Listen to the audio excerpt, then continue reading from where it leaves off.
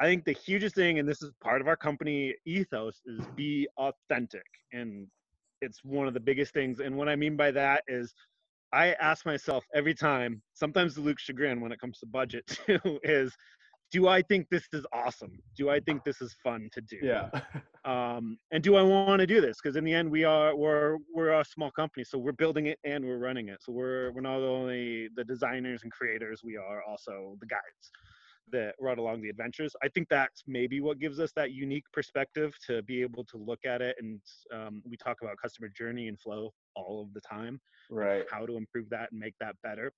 Um, but yeah, it's every time I'm like when it's GooseChase, when I'm putting down missions, I'm like, do I think this would be fun?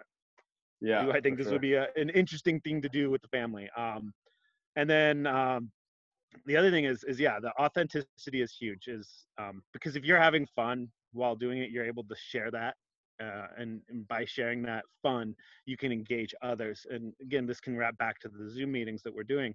Uh, I can't imagine doing any of this without some kind of video, um, some kind of interaction with with the people that played because uh, it seems so impersonal to us because we're so used to always being in front. So to be able to run this and then immediately come back and you know Luke's the MC on all of this, so he's the face and voice, but he's getting up there in front, talking to people, like you said, talking trash and joking. So it is just truly that um, just engaging people, trying your Yeah. hardest. And, and so like you know we, we're a company that has focused everybody that we hire and everybody that we work with.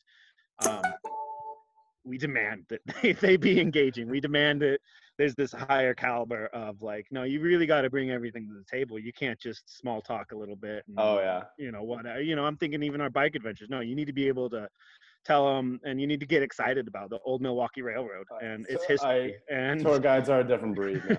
yeah, yeah. So it's just like, is that engagement? And and for me, it came from theater and and uh, and and the outdoor industry and teaching. Uh, and Luke, I, am sure a lot of it came from teaching and, and other sources in his past, but yeah, that's just a huge part of the secret sauce there.